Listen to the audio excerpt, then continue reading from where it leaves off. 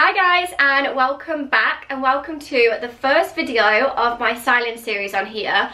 So I'm going to be starting a new series as I said which is going to be styling. So there's going to be loads of different things that I'm going to be showing you and today's video as you can see from the title is your capsule wardrobe for autumn and this is going to be all your staples, all your timeless pieces that you can style in so many different ways.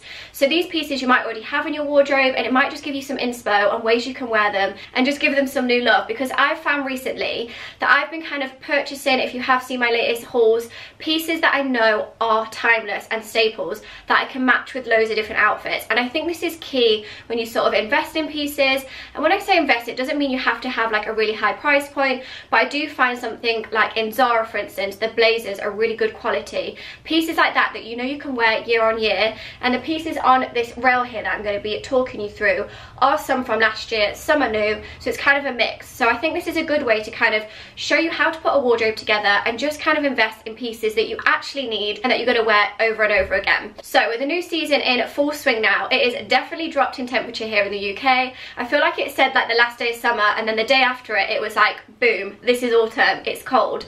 I've been going out recently with like midi dresses, no layers, but right now you definitely need to start kind of layering up and thinking about that outerwear as well.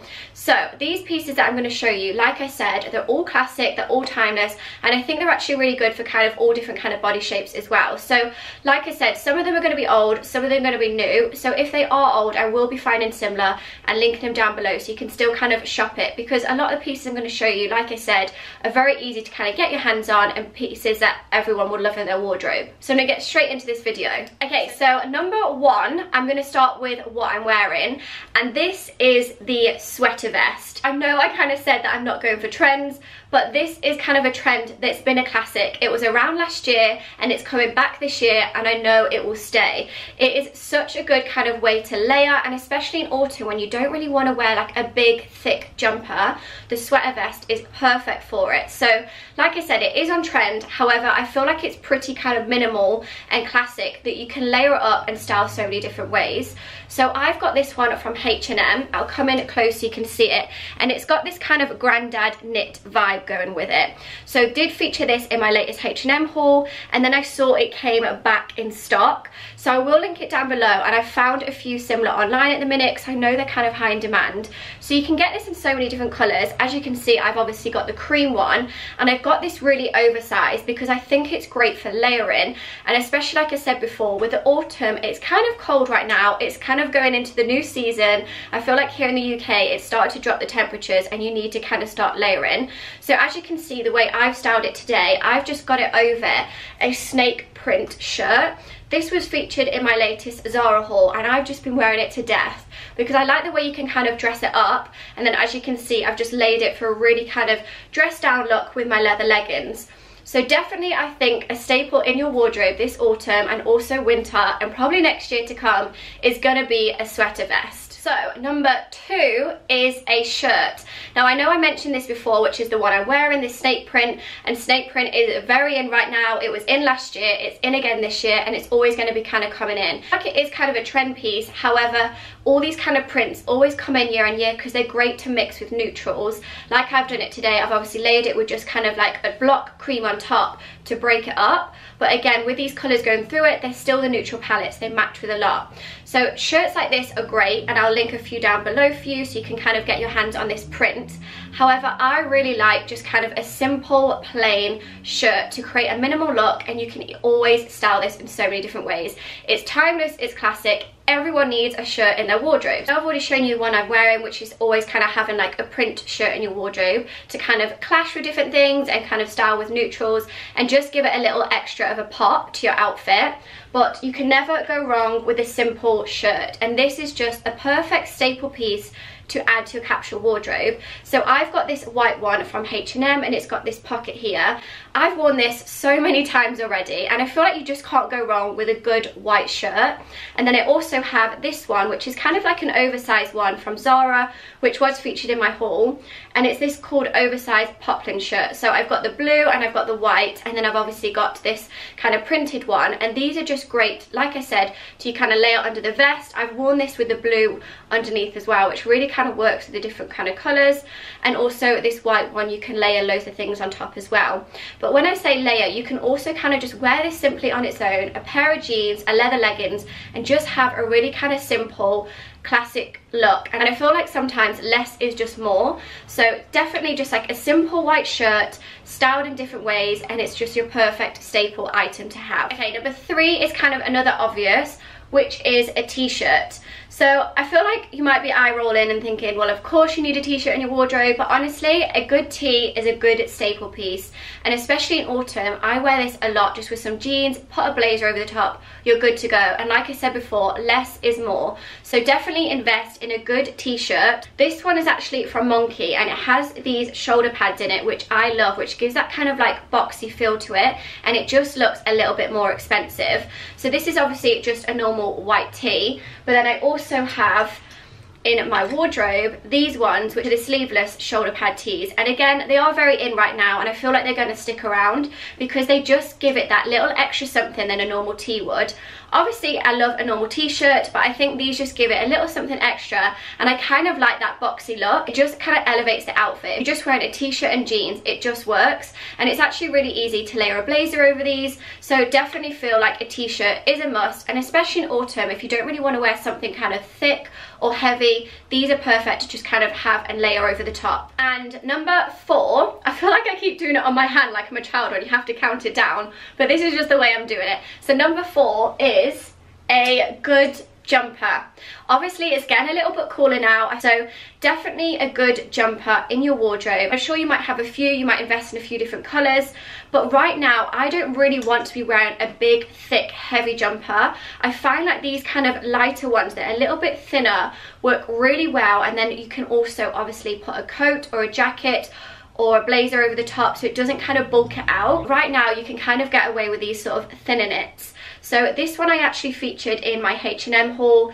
Absolutely love it. If I come in close you can see. It's got these pearl details here. This is what I love about a knit. Obviously it gives your outfit that texture and it kind of breaks it up. So even just this simply put with some jeans just looks really effortless and then I also recently got this one from Zara which I love it's this kind of polo effect and like I said I'm not really going to be going on about trends However, a polo jumper right now is very in. It is very key. And I think it just makes a really good staple piece in your wardrobe.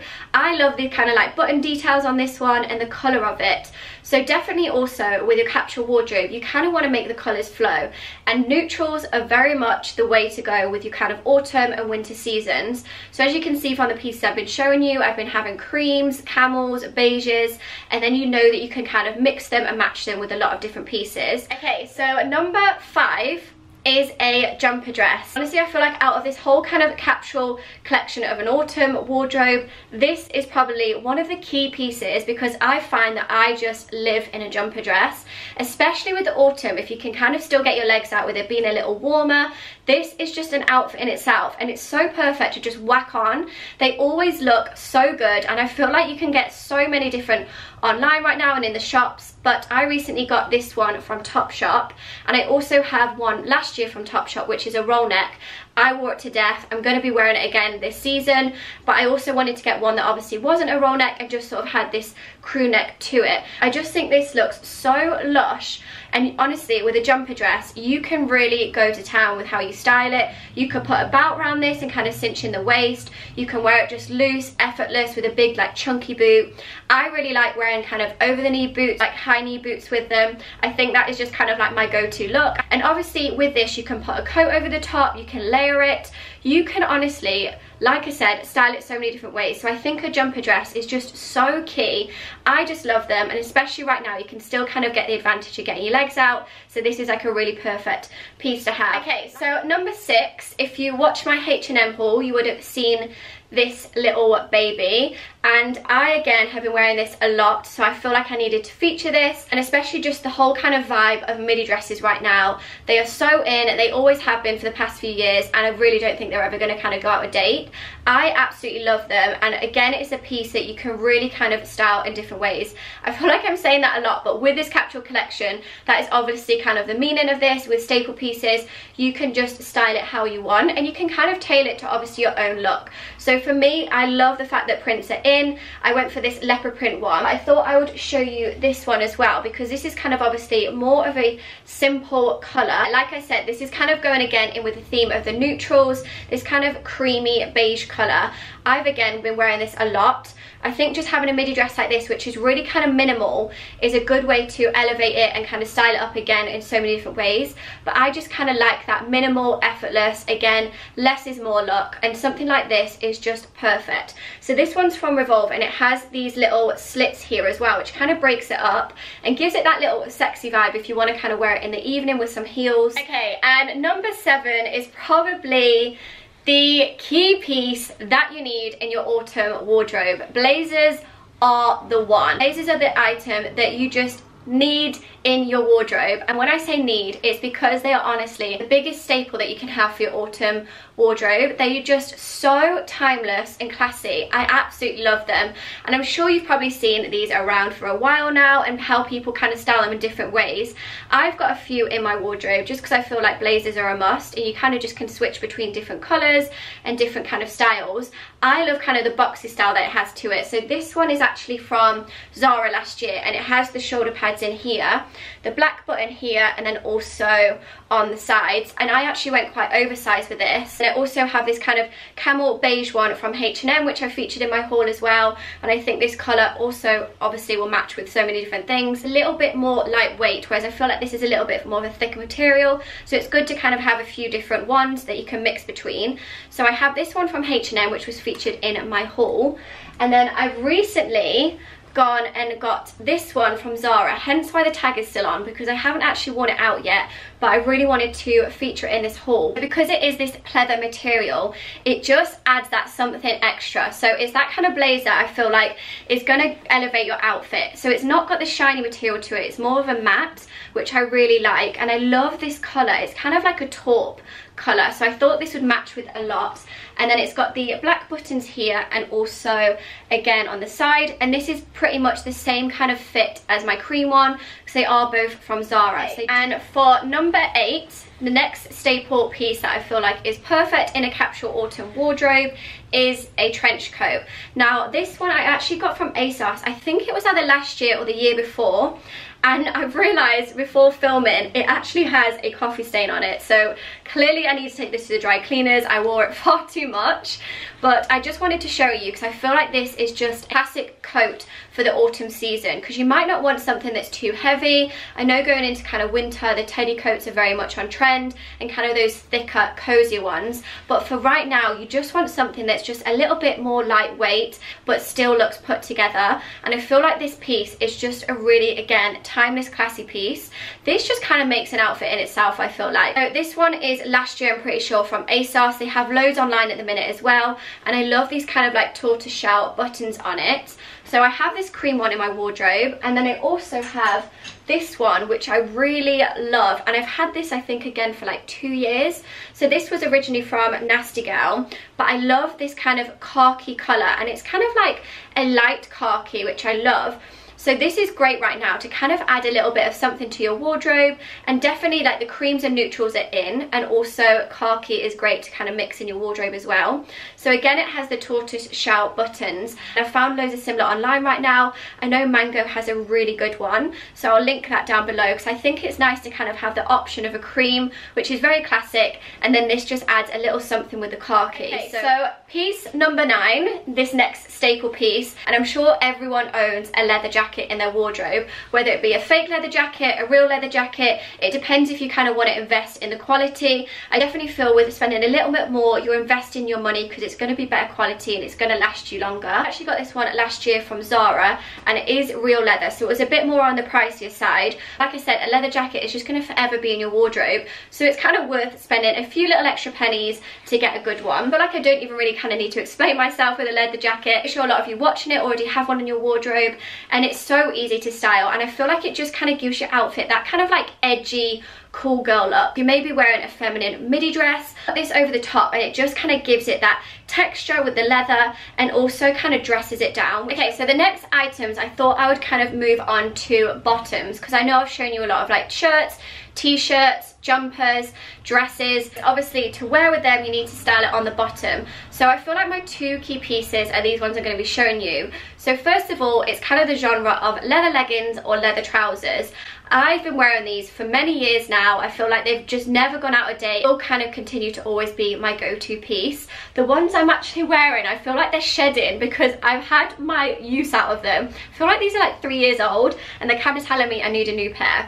So these are actual leather tight leggings as you saw with the way I styled it. And I think it's great to have a mix. So I have leather leggings and I also have leather trousers. So I have a few different trousers that I thought I would share with you because again, I feel like you can get your hands on loads of different ones, style in many ways, but just a general leather trouser is always my go-to and I know just so comfortable and for me, comfort is key. So these are kind of like my go-to ones, which are my black ones and I'm pretty sure these were Zara last year yeah these are Zara and I got them in an extra small so I wore these so much. They're just so easy to wear. As you can see, it kind of has an elasticated waist here and then it comes in the bottom a little bit tapered. So the length of these actually were perfect for me because I'm on the smaller side. I sometimes feel like trousers can be too long, but these leather trousers are just so easy to style with loads of different things. As you can see here, the way I've styled it, it's just kind of that cool, effortless look again. I also do have these ones, which again, I got last year. These were Topshop and I absolutely love these. I think they look really good paired with cream. I wore it a lot with like a cream jumper and also even if you wanted to do like the cream option of a blazer. So these are last year on Topshop. I'm hoping that they do bring them back.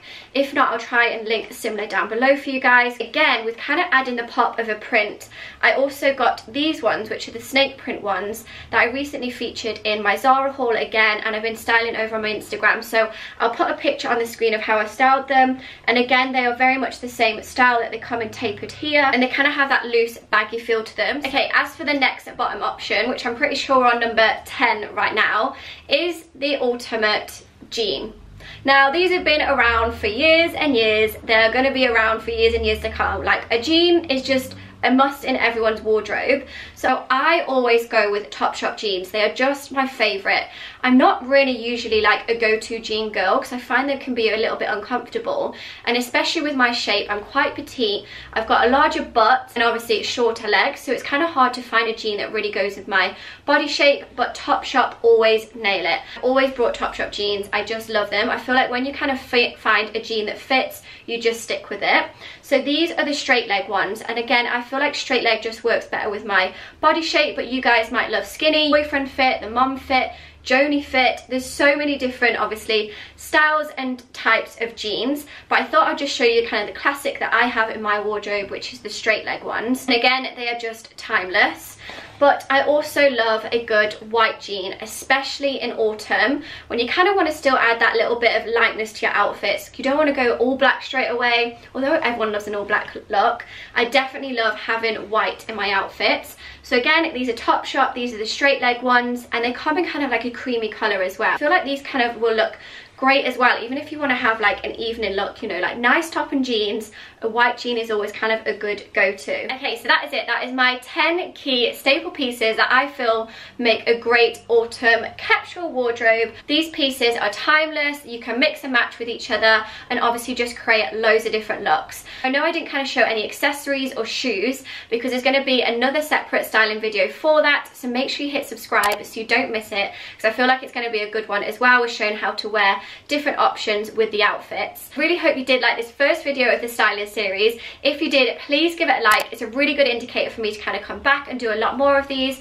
and obviously show you pieces that you might already have in your wardrobe and give you inspo on how to style them. So like I said, there's going to be a lot more videos to come, so I'll see you guys very soon.